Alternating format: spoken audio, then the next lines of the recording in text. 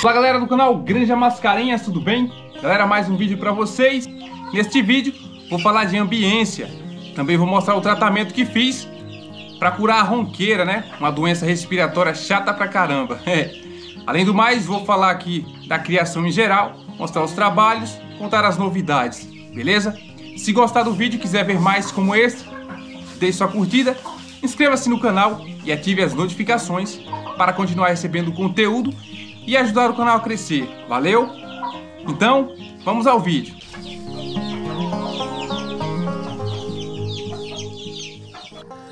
Então, galera, falando de ambiência, olha só, ao redor da granja tem muita sombra agora. Depois das chuvas, né, as árvores estão com as copas bem cheias e bastante sombra é interessante para as galinhas, né, para elas desfrutarem do ambiente mais fresco. Porém, dentro do galinheiro não é interessante que o ambiente seja escuro, pois as galinhas elas precisam de um estímulo luminoso para manter uma boa produção de ovos. Até por isso que se faz é, o programa de luz, né? E assim, principalmente se as galinhas não tiverem acesso à área externa, é, esse problema de escuridão vai atrapalhar bastante e até deixar algumas aves estressadas. Uma baia aqui do meio, as aves não estão tendo acesso à área externa, então eu resolvi fazer uma poda nessa árvore da lateral para deixar o ambiente, claro, mais iluminado.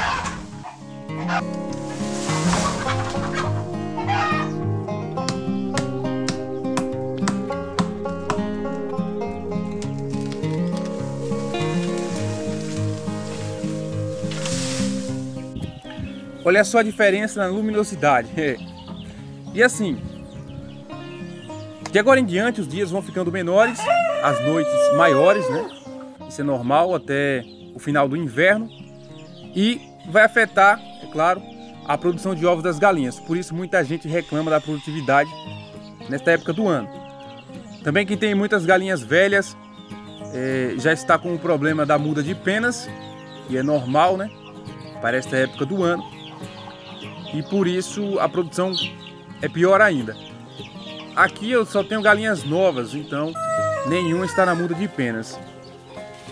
Mas elas também são afetadas por esses períodos menores de luminosidade. Por isso eu já estou iniciando aqui o programa de luz, embora seja bem limitado, né? poucas lâmpadas, porque a bateria não aguenta muita coisa. Bateria automotiva de chumbo é assim, é uma tecnologia muito ultrapassada, então Estou fazendo aqui negócio de meia hora para fazer no máximo uma hora de programa de luz. Se bem que aqui no Nordeste a gente não precisa tanto, né, do programa de luz. Estamos próximo da linha do Equador e os dias são grandes, eles não diminuem muito, é, como em outras regiões do Brasil. Lá para o sul do país, os dias, é claro, quando chegar o inverno, são bem menores do que aqui no Nordeste. Estou no norte da Bahia e a quantidade de luz solar não varia muito durante o ano. Bom, outono e inverno as temperaturas são mais baixas, até por isso fiz a poda na árvore, pois se fosse aqueles dias de calorão, eu teria deixado, mesmo que o ambiente ficasse escuro, pois o, o calor é muito prejudicial às aves.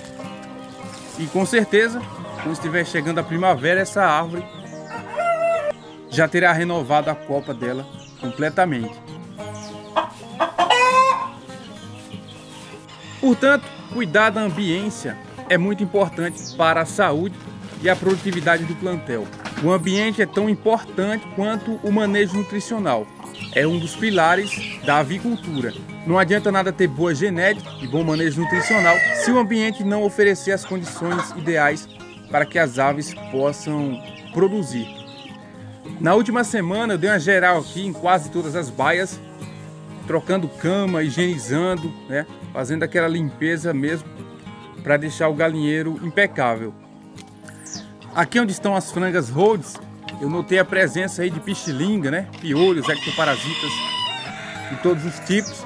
Então, eu dei uma geral, tirei a cama, lavei, apliquei o cal, cal hidratado, borrifei o colosso, o veneno, né, para acabar com os piolhos.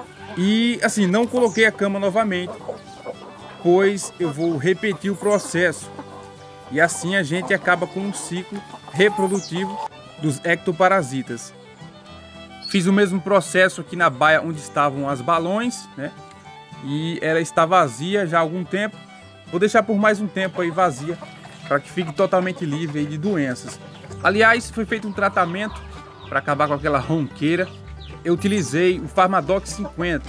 Aparentemente surtiu efeito. É, são cinco dias de, de tratamento. No quarto dia ainda tinha uma galinha balão com ronqueira, esta aqui, e um galo. Mas agora, depois do término do tratamento, não notei mais essa ronqueira nas aves. Também o remédio é bem caro, né? Eu achei aqui na sede do município por 120 reais um pacotezinho de 200 gramas. Mas ele rende bastante. Recomendam aí um grama para cada 5 litros de água. Então o rendimento dele é alto, né? E como eu já havia mostrado num vídeo, eu fiz vários bebedouros caseiros, né? Utilizando aqueles copinhos. E assim deu para distribuir nas baias onde tinham aves afetadas e o tratamento foi feito certinho.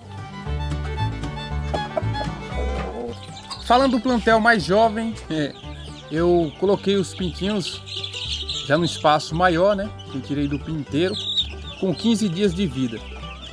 Até agora nenhuma perda, estão bem saudáveis. É claro, volta e meia aparece um paralisado. Né? Isso é comum nas primeiras semanas. Em muitas criações acontece isso, eu já vi muita gente reclamando. O pintinho ele fica paralisado e depois de um tempo volta ao normal. É tipo um problema nutricional, alguma coisa do tipo, né? Coloquei junto com eles os da primeira ninhada, os filhos do Tompkins. E assim, 15 dias de diferença, né? de idade e olha o tamanho deles, né? Um porte bem maior, com 15 dias a mais.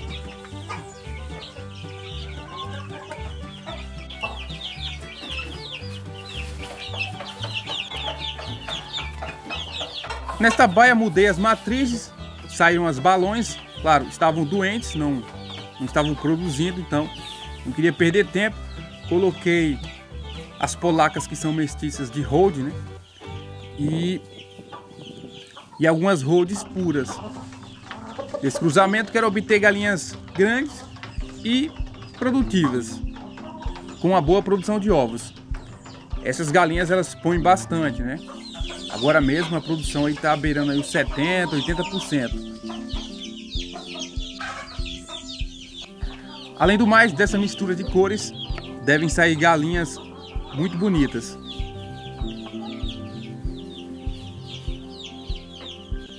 Do outro lado está o Wilbur, com as galinhas polacas. Também vou colocar para chocar os ovos dessa baia. Eu espero que saiam boas aves, né? Principalmente aves de pescoço pelado, como zigotas, né? Sem o tufo de penas no pescoço. Pescoço totalmente nu.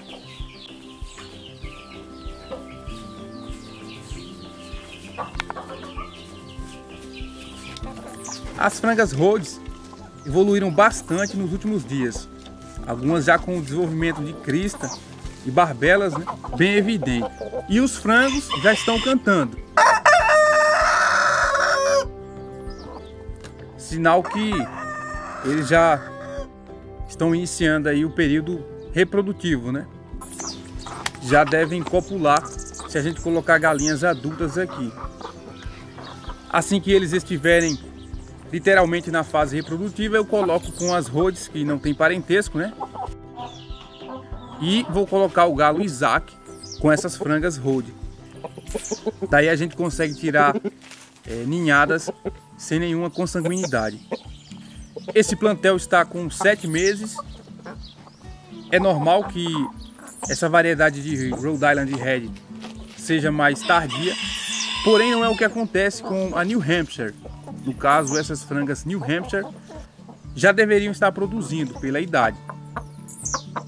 Mas foi um plantel que atrasou mesmo.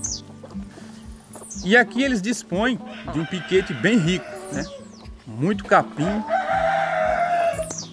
e até frutíferas. Os pés de acerolas aí estavam bem, bem cheios e eles comiam bastante as acerolas.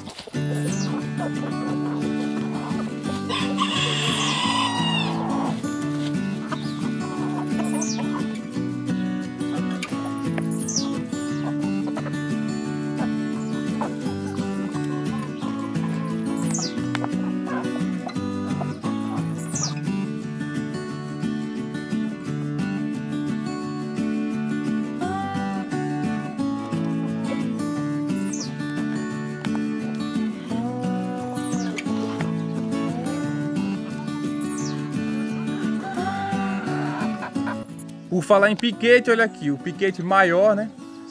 Eu disse que ia recuperar em três meses. E um mês depois já está ficando legal, né? Eu plantei alguns capins, joguei algumas sementes, não nasceram. É, mas eu joguei uma terra e está nascendo muito mato, aquele pega-pinto, né? É popularmente chamado de pega-pinto, esse tipo de mato. Leva esse nome popular porque os pintinhos eles grudam nessas florzinhas dele, né? Que tem um grude aí. é bastante pegajoso. Então esse é o tal do pega-pinto, lá ele. e os pés de moringa, ó, crescendo muito rápido, muito rápido mesmo. Logo, logo eu faço uma poda para eles ficarem com as copas maiores.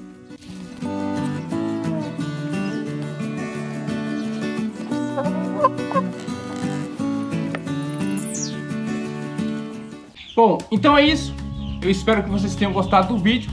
Em breve trarei outro interessante. Um abraço a todos e fiquem com Deus. Tchau!